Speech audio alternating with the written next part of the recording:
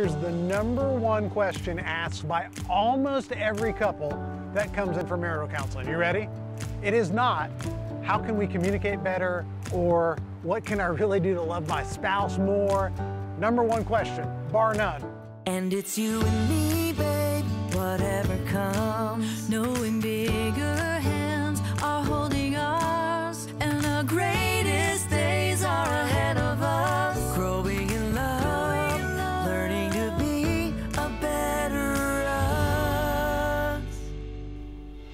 There, welcome to A Better Us, and welcome to our home. We have a lot of great experts on A Better Us, and one of them is clinical psychologist Dr. Mike Roncesvalles. We call his segments On the Beach with Dr. Mike. And he says that after 30,000 hours of counseling couples, there is one question that he gets asked the most. Let's just say it's a spicy question. And coming up, he's going to tell us what that question is and how he answers it. Also, relationship experts Doctors Les and Leslie Parrott are here to give us some insights on achieving spiritual intimacy in marriage. And as usual, our kitchen couples have a lot to say on these topics. We have CFL Football Hall of Famer Mike Pinball Clemons and his wife Diane. And recording artist, author, and speakers Dan and Danielle Macaulay. It's going to be a spicy show, so stay with us.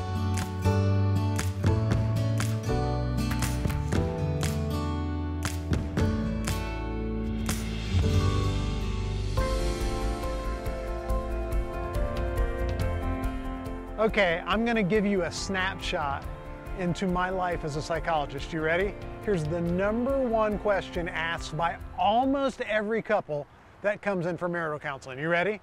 It is not, how can we communicate better or what can I really do to love my spouse more? Number one question, bar none, how do we spice up our sex life? that is it, man. Everybody wants to know how you can spice up this marriage. So I'm gonna give you my top 10 list after 25,000 hours working with couples. Here's the top 10 list of things that you can do to spice up your marriage. You ready?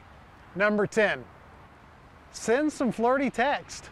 I mean, come on, that's fun. Now, they don't have to be crude or gross, but just a little note that lets your spouse know that, hey, I, baby, I think you are sexy. Or, honey, look, you're the man. That kind of text feels really good to get and it'll spice things up a little bit. Number nine, say yes. Say yes. If your spouse ever comes to you and has an idea of something they think, you know, maybe they want to try, just don't hesitate. Let your first response be yes, not no. Number eight, shower your spouse with compliments. You know what he likes to hear. You know what makes her blood boil. Say it. Don't be afraid to really affirm them and know that the emotional connection you create with them, man, that will heat your marriage up. Number seven, don't forget the small stuff. What's your spouse's favorite treat? What do they love and really, really enjoy? Do it for them. Maybe your spouse likes sleeping in on Saturday morning. Man, you make sure that you keep those kids quiet and you let her sleep in as long as she wants to. That might be the sexiest thing you do all day long. Number six, touch often. Small touches throughout the day really create that physical connection. So when you walk up to your spouse to ask a question, put your hand on the shoulder Maybe rub the back a little bit. Grab, grab his hand. Look at him in the eyes while you're talking. Now don't, don't freak out. It doesn't have to be sexual. I'm not saying there has to be a lot of sexual play all day long, but good, healthy physical connection helps. Now, having said that, I've established, I've already said, it doesn't have to be sexual, right? You heard me say that. I verbalized it. But I'm going to say this sexual touch during the day doesn't hurt either, right? A little pop on the tush every now and then. Let your spouse know, hey, I'm into you. I like you. I love you. You're sexy.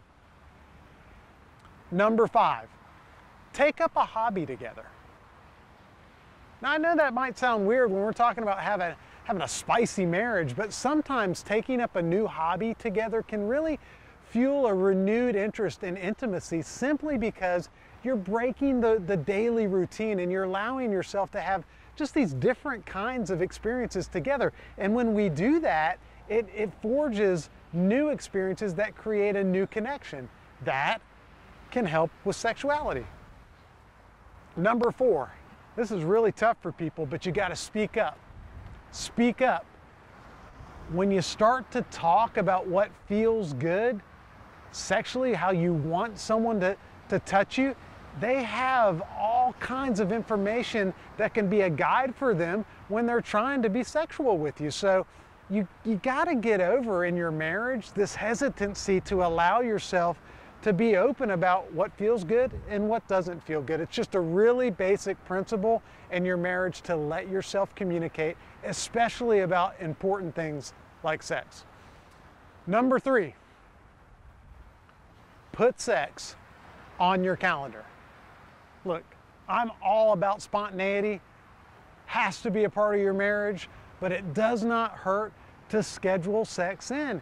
It's something that really, if you do it right, can, can give you something to look forward to every week. Now I know, you know, I share my calendar at work with like 17 other people, so I'm not putting it on that calendar, but there's got to be ways that you guys as a couple can work together to say, okay, doesn't matter what happens this week, we can get super stressed, really busy, whatever. This time, this is for us, and this is when we're going to be intimate. Number two, talk about the old days. Talk about the old days. Make it a point to reminisce about the most romantic moments and experiences you've had as a couple. And remembering those times when your marriage was spicy and when, when things were like really popping and, and happening, that just might help you recapture those spicy feelings today. So have fun with that one, guys.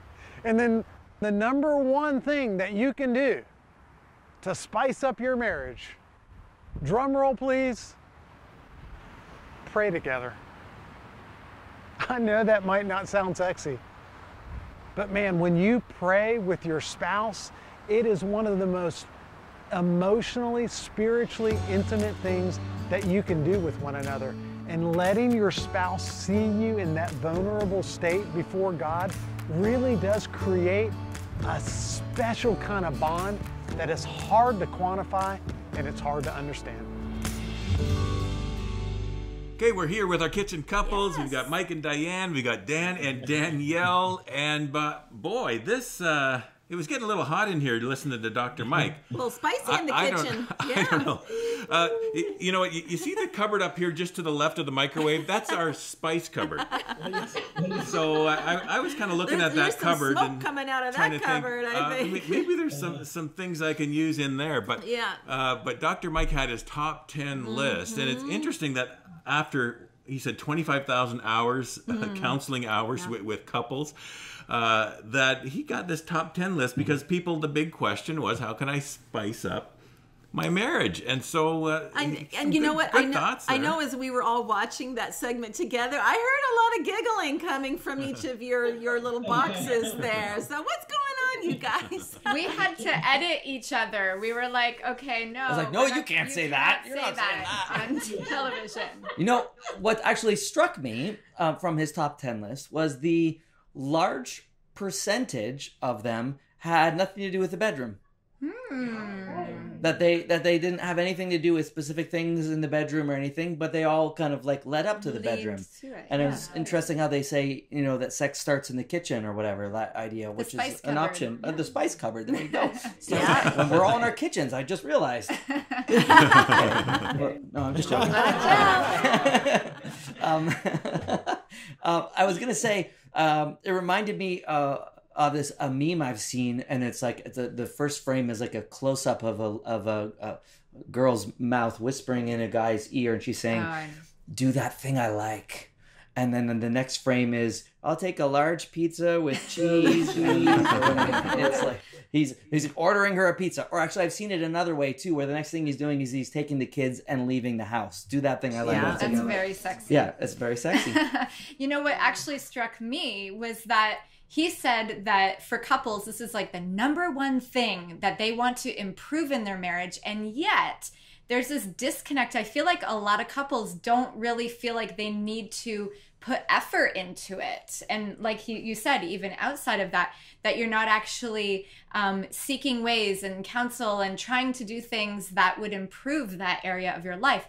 And so maybe that. Um, you know, couples watching just need to hear that it takes effort. It's not just going to magically happen and be, you know, have fireworks without a little bit of effort. And so, yeah, those are my thoughts.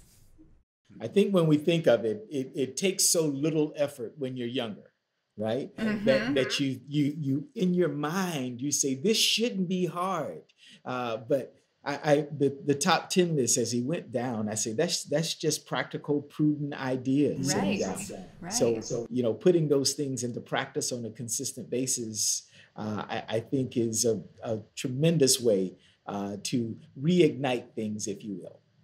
Yeah, and and what I loved is the fact that he said, "Talk about the old days." yeah. because when you talk about the old days and you you know when you were young and you Mhm. know everything was really spicy uh, it it brings those you know emotions back and, and i love that and the other thing th- uh, that i love he said was to say yes Mm. say yes when you want to try something new or you want just simply say yes Mm-hmm.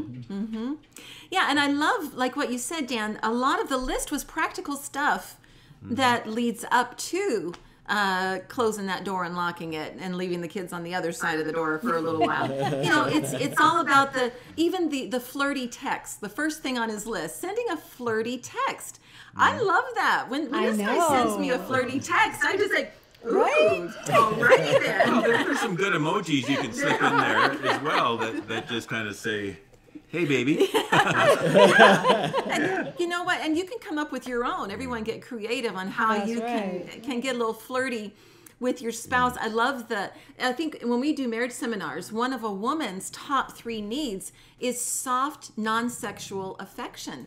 So that, you know that touch, that that- touch, yeah, coming up to her in the kitchen and just kind of wrapping your arms around her, or just coming up behind her and wrapping your arms around her and just letting her know that that you're there and you you like touching her and and I mean that is that goes a long way in preparing her for later on when you are alone and just lots of little things like that go a long because ways. especially for a woman that uh, intimate connection is Mm-hmm. more emotional than it is physical Yeah. you know Yeah. uh, Yeah. you know what happens in the bedroom and so so all these other things that lead up to that are Mm-hmm. Just uh, building on uh, on that connection emotionally Absolutely. And I love that he ended the list with praying together because Mm-hmm. you know that when you are genuinely and sincerely Mm. praying together before the Lord because he knows you there's no there's no sweet talk in God. He sees your heart. And when you really humble yourself before God, you're pretty vulnerable.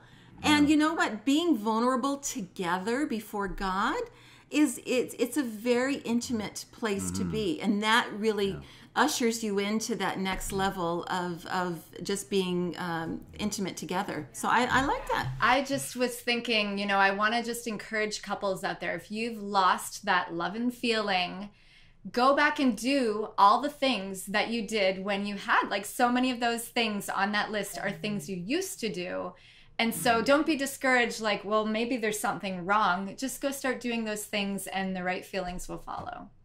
very all right good i like it good stuff All right. okay thanks everyone guys. Uh, we'll be back with more of our kitchen couples Yeah. and stay tuned the whole idea of spiritual intimacy Right. wasn't falling into place for us. So, uh, well, we're social scientists. We were in graduate school at the time. We thought, let's do a survey, and we began to survey church going couples asking two very simple questions. Hey friends, Ron and Ann here. We're so glad you're with us at A Better Us, and we pray your marriage is blessed as you take this in. Be sure and hit that subscribe button if you haven't already and enjoy this video.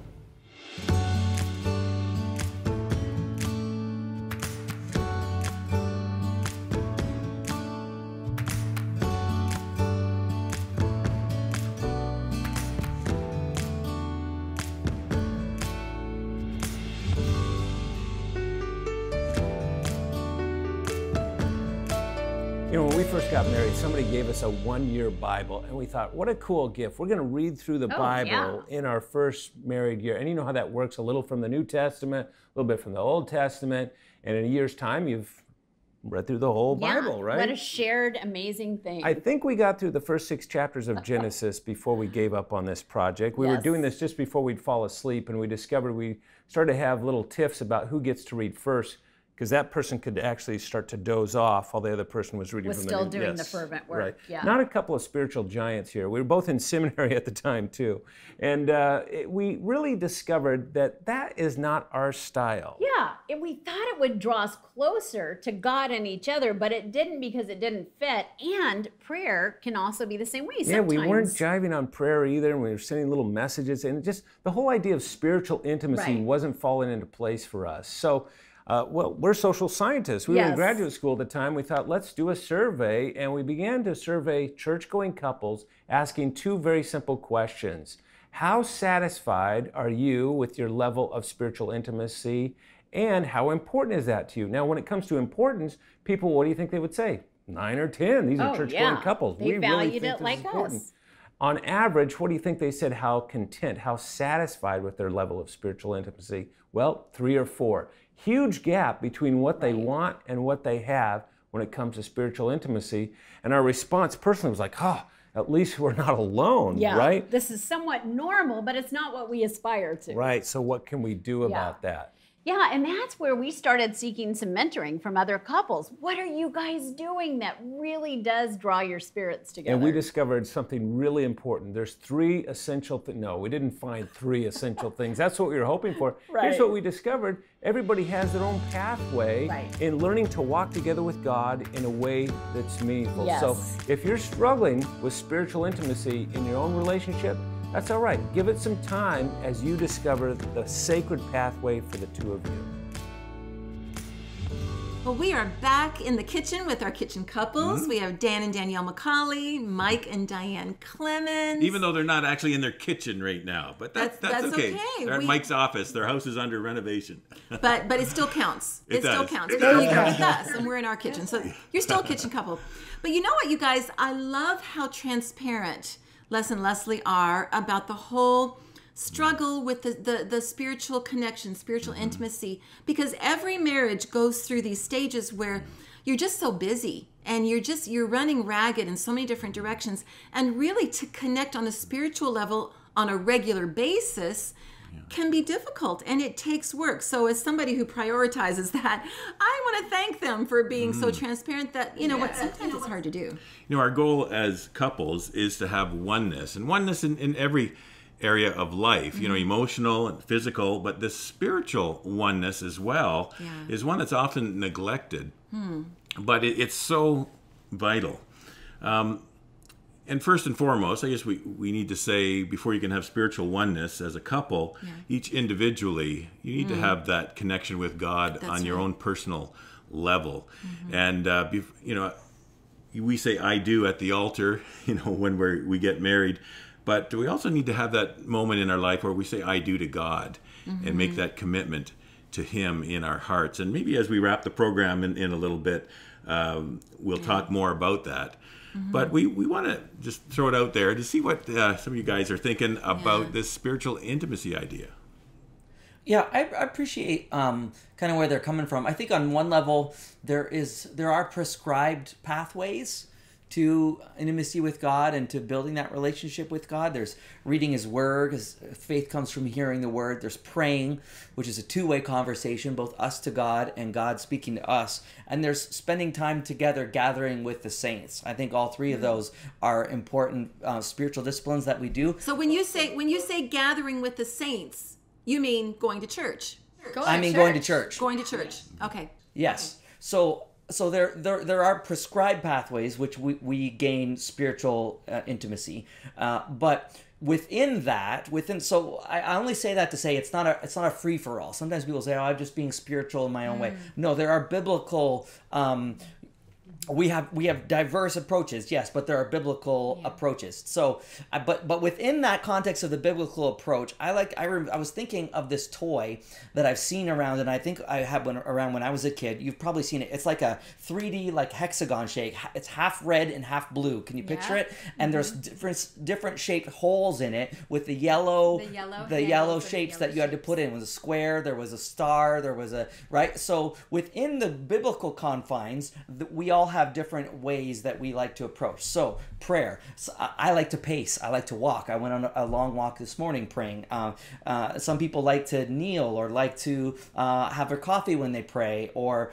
uh, you know so you see where i'm going with that. There's we have i think and i think that's what they're getting at too. We all have our different so it's not biblical it's not a spiritual free for all. There are biblical precedents but within that we have our own different approaches. And i think that's uh, that's okay. I think that's part of what makes us the body of Christ is that different things are uh, we're wired uh, slightly different. and that's okay that's actually where i was you know going in my head is just telling people that's okay um, because i know for when we were first married we've been there Les and Leslie. We have um, you know thought uh, in my mind what i pictured as our our spiritual time together is completely different from what the reality is. Like this guy here he does say he likes to walk and pray. He does that early. He also likes to get up super early to have his alone time with God, including yeah, he wants to be isolated, including from me. He wants time to himself, whereas I would picture, you know, us being together, and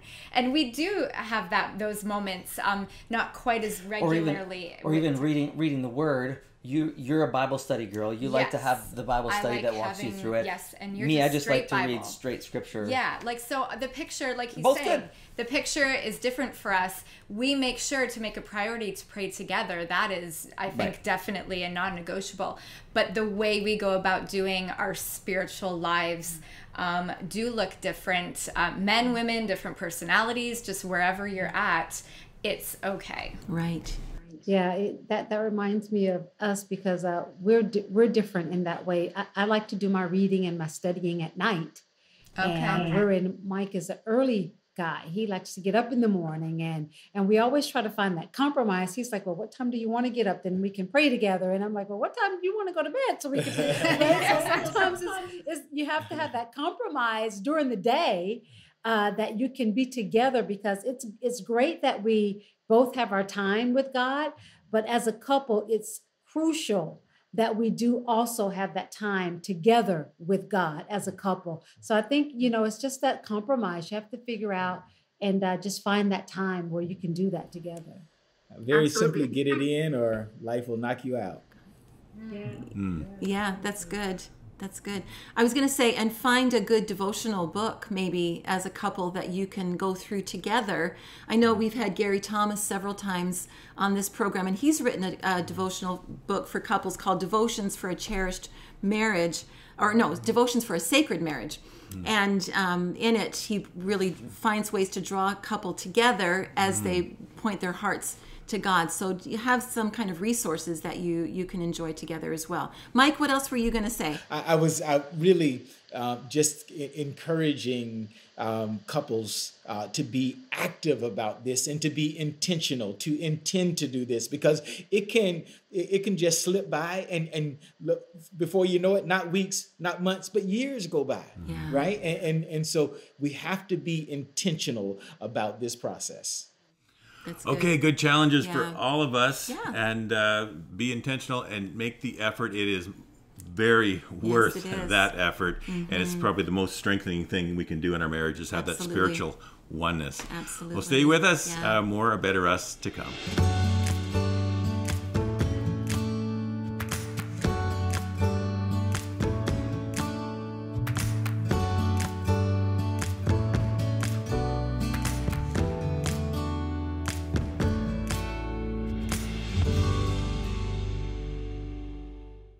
Hi, we hope you're enjoying the show. You know, our vision at A Better Us is to see every marriage become a loving union that creates a safe family haven, building a legacy of hope for future generations. That's why we feel it's so important to invest in marriage relationships through producing a new episode of A Better Us every week. Absolutely. If you feel as we do that marriages are worth investing in, then please consider joining us as a member of A Better Us with a monthly donation of $25. You'll be making a big difference in lives and families, and we'll send you two of our special mugs, the mugs that you see our kitchen couples using each program. Absolutely. And be sure to send us your mugshot selfie, and we'll post it on our Facebook page and on our website. Simply visit abetterus.tv and click donate to set up your automatic monthly giving. God bless you, and thank you so much for making this program possible and helping us strengthen marriages. So we can all become a better us. My favorite kind of date night would uh, to be go go for a bike ride, and then go grab something to eat. That'd be a fun day. Well, no, mine would be to go have dinner and then get dessert. Skip the bike ride. Are we talking about our date night idea or his date night idea? Because if I, I mean that that that sounded very nice. Lowe's for Yeah. him. It's Lowe's. We'll like turn to each other. We'll end up at Lowe's and we're like, oh, this is our Friday date night. He's a great cook. So I'm liking the, the nice dinner at home and we'll watch some favorite program or we'll rent a movie. Just getting out, doing something fun outside. That's my thing. Yeah. going out, eating sushi, and spending time with each other. That's mainly our main concern. It doesn't matter where it is. It could be at home. It could be anywhere. We could sit in the car just mm-hmm. talking. As long as we eat, we are with each other. It's just like perfect for us.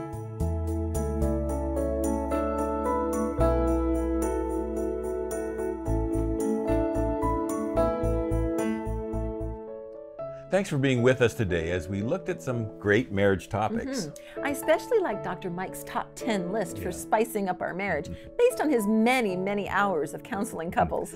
If you missed it, just visit our website at abetterus.tv and look for season 5, episode 11. In fact, all of our programs are available mm-hmm. there.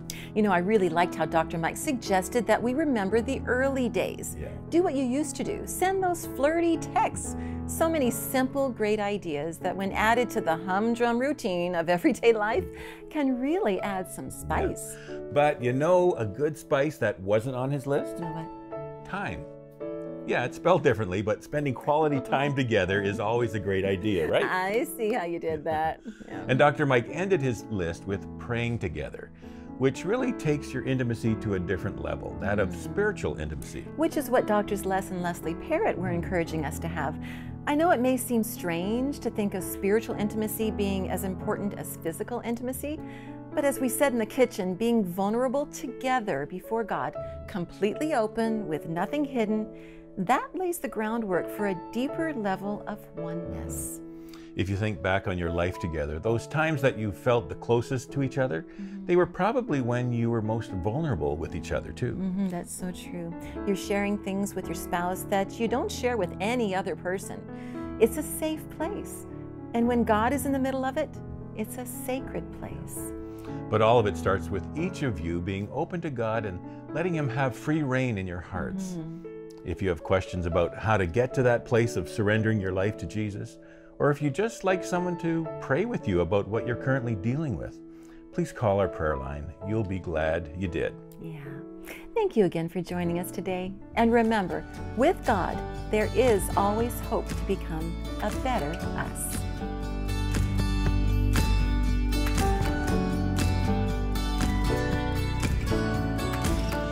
Hey, friends, we really hope you're enjoying the marriage conversations here with A Better mm-hmm. Us on our YouTube channel. We have hundreds of more helpful marriage videos designed to give you hope and tools to make your marriage better. And you can see just a few options we think you might like here mm-hmm. and here.